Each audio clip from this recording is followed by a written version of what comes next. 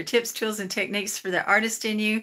And today is my first try at videoing from my phone uh, live. I haven't been able to do that before I had a thousand subscribers. So thank you if you've been subscribing or if you have, thank you.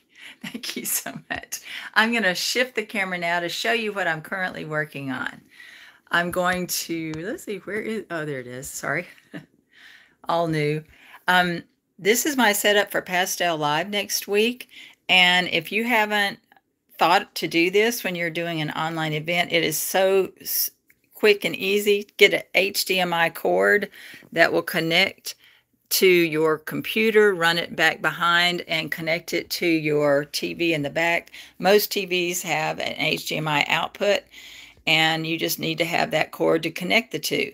Then, when you go to your TV settings, select output and make sure the output is the same HDMI as your computer. This allows you to see a really nice large screen, whatever it is you're watching. Also frees up your phone. So if you're directly linking your, you know, some phones uh, broadcast to your television and you don't have to worry about that. So computer plus TV.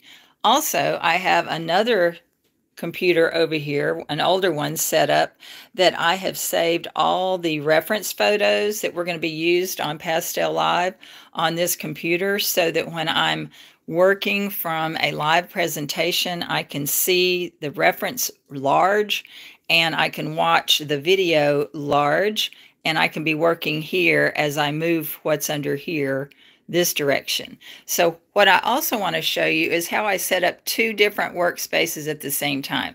So when I'm not working on Pastel Live, I'm going to close this, turn it sideways. Then I'm going to take my little um, cookie sheet that I have all my painting utensils on.